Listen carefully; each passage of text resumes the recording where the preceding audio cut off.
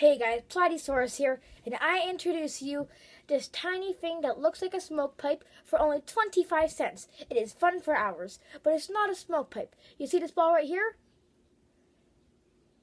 It can fly. Let me show you how. Put it in your mouth and blow.